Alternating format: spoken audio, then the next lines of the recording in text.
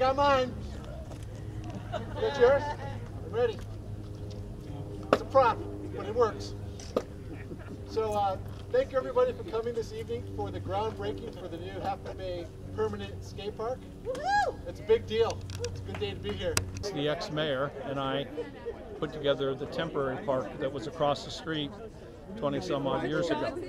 It should have only lasted 10 or 12 years, but the kids and the community, we took very good care of it. It lasted well over 20 years, and we had promised that we would build a permanent park once we took down the temporary one.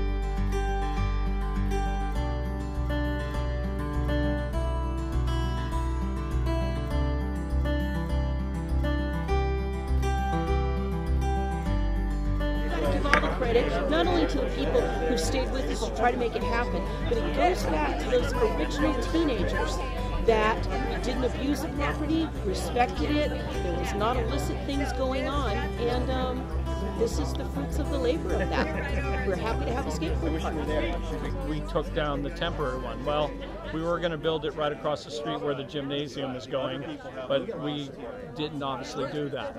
So we built, we were, we were looking for other locations. Rocky had spoken to the uh, lieutenant uh, from the sheriff's department, and they suggested this part or this uh, piece. And Rocky and her went to the city, spoke to people like uh, uh, Mayor Rick Kowalczyk and to the assistant city manager and the uh, city manager. And after some, you know, many deliberations and all, they uh, allowed us to Then I want to uh, also acknowledge some uh, of of the people who were big contributors to this. So uh, this project wouldn't have happened without a lot of collaboration and our partnership with the Boys and Girls Club. I want to give special acknowledgement for that. The city wanted to make this happen. The Boys and Girls Club wanted to make it happen, but we had to work together to get this done. It's going to be fantastic, and it's another example of a, a result of collaboration in our town. Think of the projects that we've gotten done and that we're getting done through collaboration. They're all, all the active projects in town right now are all because we're working together. Let's just keep it going and have some more of that. If you have not seen the park, what it's going to look like, it's going to look fantastic. I had one request during the design phase. I kept saying it over and over. I just really pushed for us to have a signature element. One thing that no other park has. Half Moon Bay has the half moon element. I can't wait to shred it. Is that right? Did I say that? Yeah, that's a term, yes. Is that a word? but uh, but seriously, it's going to look fantastic, and I want to acknowledge um, uh, Zach for your work. And Zach, I want you to join us up here as well. Zach's the designer of the skate park. Did fantastic the country. He was just here hanging out over the weekend. Did a little surfing at Mavericks.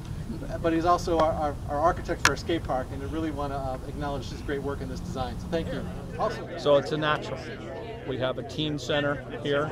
We have a number of kids and activities here. So what we will have is a permanent skateboard park, and then we'll have a new 18,000 square foot gymnasium. It'll be something that'll blow your mind right across the street. So this was a great groundbreaking for this new Half Moon Bay skate park. We're thrilled to have everybody here. It's a big crowd. Gonna get a bunch of skaters out here, and we're gonna have a permanent skate park in our city. So we're really psyched about that. It's gonna be fantastic. Wait a second. On my, on my count, they got to get the dirt in the air. So on my three. One, two, three. Do it again.